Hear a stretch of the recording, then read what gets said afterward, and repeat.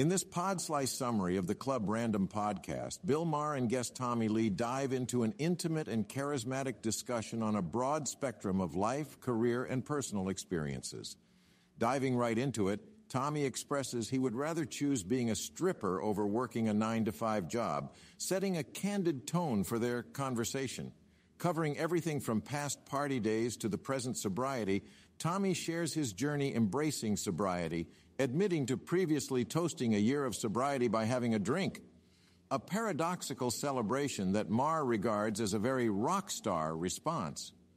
Maher, while acknowledging the link between creative professions and substance misuse issues, wonders why one would need drugs when life in general offers so much to live for. Stories of past excessive indulgences and countless tales of notoriously hard partying touring days also surfaced during their conversation.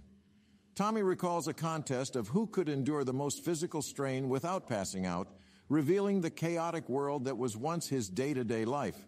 Taking a turn towards more emotional grounds, they touch on the challenges of maintaining relationships when immersed in the whirlwind lifestyle of a rock star. They humorously discuss how Daryl Hall from the duo Hall and Amp Oates admitted it was impossible to stay faithful with the potential distractions that came with fame. Discussing aging, they share experiences of gradually transitioning into a lifestyle most suited to their health and overall well-being. Tommy assures everyone that he still carries the same wild spirit within, drawing parallels to the unchanging nature of the Rolling Stones despite their advancing ages. Their dialogue further finds Tommy revealing that he still weighs the same as he did in high school, crediting, perhaps ironically, his past life of excesses. Shifting gears, Maher brings up Marcel Proust's novel Remembrance of Things Past, explaining its theme of memory and sensory perception. Counteracting Proust's emphasis on smell as a primary trigger for memories, both Maher and Tommy agree that for them, music plays a more potent role in recalling the past. In conclusion, the conversation weaves back to the initial humor about stripping as a plan B, providing a dual sense of continuity and comedic contrast to the emotionally charged and reflective narratives discussed throughout the podcast.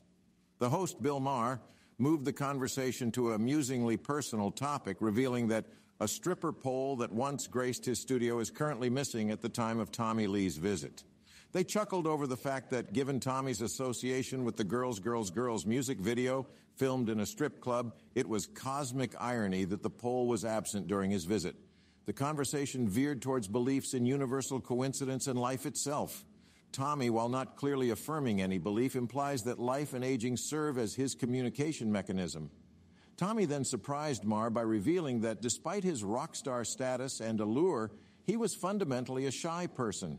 This ignited a fun banter about their contrasting approaches toward shyness, confidence, and dealing with dating situations. Joining the levity, Tommy randomly questioned Maher about which Beatle he thought was quite literally the biggest. A query that led to a heartening exchange on musicianship, songwriting, and of course, drumming.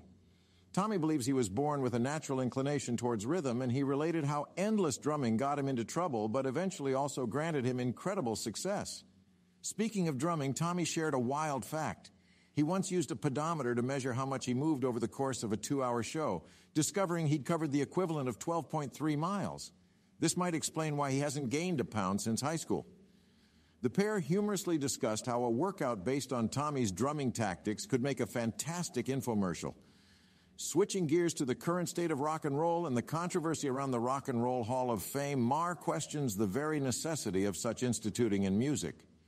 Tommy pointed out that over the years, the Hall of Fame has lost some of its prestigious allure, partly because of who ended up being inducted. But should the moment ever come, he wouldn't mind rejecting the offer, maintaining his rebellious spirit true to the heart of rock and roll. The dismissal of critics and the subjectivity of rankings in music led to more shared laughter. Discussions of historically important songs that didn't seem up to the mark raised questions about the role of critics.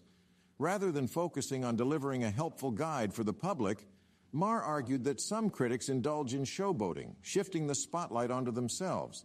He pointed out that the essence of criticism should serve to guide the audience, not mete out personal opinions. Tommy agreed, implying that unfortunately, critics often lose sight of their real role and often prefer knocking down that which they review. They then amusingly discussed various professions and why anyone would choose to become specific specialists, culminating in an amusing reflection on the life choices of proctologists. The conversation somehow meandered and lost its trail, ending up quite humorously off topic, but both agreed to continue the intriguing exchange. Continuing the Club Random podcast transcript analysis. In this part of the conversation, the host delved further into the deep end, discussing wide ranging topics from graffiti to promiscuity, from alcohol to drug use. Tommy Lee shares his personal, often extreme experiences with alcohol addiction in open, candid form. His graphic recounting of his drinking habits astonished Maher, especially his revelation that Lee drank up to two gallons of vodka per day. Lee confesses how his destructive choices were on the verge of ending his life prematurely. They discuss the recovery process, emphasizing that Lee's experiences are testament to the body's resilience, highlighting how Lee credits his miraculous recovery to his genetic resilience. The conversation takes on a sober note while addressing addiction and then dives into Lee's early years in his band, when the members recognized that their rampant drug consumption could potentially cost them their lives. Maher then segues into a discussion on the allure of drugs, referencing his own experiences with ecstasy, while Lee acknowledges the huge variety of substances he engaged with during his tumultuous youth. Interestingly, Maher expresses his avid disapproval of tattoos, arguing the presence of such markings, especially on women, could be forfeited. Taking a quick detour into an amusing aspect, Maher presents a hypothetical negotiation to women about keeping their bodily grooming habits in exchange for freedom from tattoos. Lee, on the other hand, casually reveals how he resorted to tattoos to cover up the markings from frequent injections. Laughter ensues, but this disclosure subtly underscores the extent of Lee's past addiction struggles. But it's not all seriousness and reminiscences. Lee expresses heartfelt admiration for Maher's outspoken and unique presence in the entertainment industry, emphasizing how Maher's fearlessness in addressing taboo topics brings him extreme joy.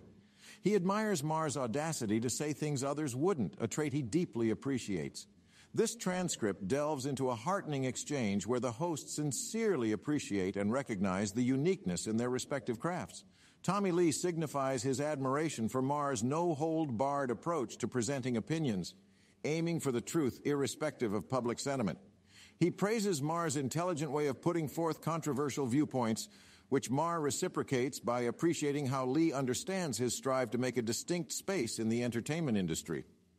Maher admits to feeling underappreciated sometimes, as his unique blend of opinionated news and comedy show didn't always garner widespread acclaim or awards. Yet he would happily trade critical acclaim for the audaciousness and honesty in his work approach that Tommy Lee recognizes. Lee's appreciation felt like a long awaited, meaningful recognition for Maher. There's also a humorous exchange about a hypothetical party Maher plans to organize, making a lighthearted joke about bringing in William Shatner if he mentions Tommy Lee's name. As they transition back into deeper conversations, Tommy Lee highlights the paradox between the sensitive, desirable traits their work portrays, especially in music, and their reality. The diffidence between the emotional resonance in their lyrics and their raucous lifestyle becomes a point of discussion. They acknowledge how lyrics hold more significant meaning to women than they do to men, who usually pay more attention to the beat and melody.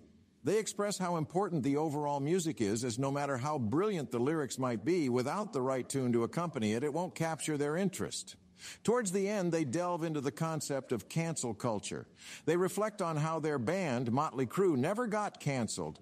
Given they never adhered to societal norms themselves, they find it ironic that no unified, enforceable standards exist for who should be held accountable in cancel culture. Lastly, they share experiences about their drinking habits, discussing how alcohol became a significant part of their lives. The candidness of this segment paints an introspective and honest picture of their pasts. This transcript captures the in depth conversation between Bill Maher and Tommy Lee concerning religion and personal beliefs. Bill Maher prompts Tommy Lee to discuss how he handled questions about religion from his children, wherein Lee admits that religion was not a significant part of his life or family dialogue. Sharing a humorous anecdote, he recalls a moment when his kids asked about a Chinese basket, a term denoting a sex swing, and how he deflected the question by referring to it as a plant hanger. Conversing on their distinct religious experiences, they also touch upon the denominations of Christianity they were exposed to. Having been raised without a strong religious background, they scrutinize the discrepancies within the Gospels and the New Testament. This examination leads them to agree that the varying accounts of religious texts often result in confusion for the believers.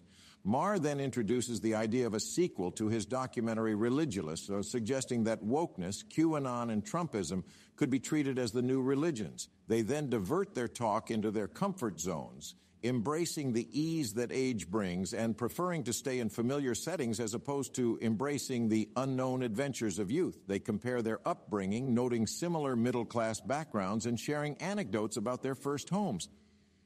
They also delve into their transitions to life in California, discussing the cultural differences between the East and West Coasts, especially in regards to the social atmospheres in New York and California. Towards the end, both celebrities express their similar sentiments about visiting New York. They appreciate the city, but agree that they can only handle its intensity for a limited time. In the course of their conversation, they stress that their preference for California is inconsequential, showing respect for other people's love for New York.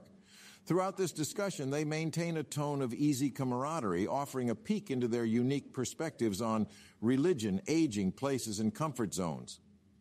In this section of the conversation, Maher and Lee dive into a range of topics that unravel their shared views and unique experiences. Lamenting their aging process, Lee and Maher share jovial banter about readjusting their lifestyles as they reach their 60s, agreeing to calm down, avoid harmful habits, and adopt healthier routines. They admit that age has subtly begun demanding their attention and care, effectively curbing their reckless youthful tendencies. The conversation takes an exciting detour as Maher reveals a joke about Lee he has held onto for nearly 26 years, stemming from times when Lee and his former wife Pamela reconciled after a separation. The joke's punchline relates to an NSFW subject, harking back to an infamous video of the couple. Throughout the conversation, the duo maintains a playful, humorous tone, managing to not dodge the changing trends and adapting societal norms.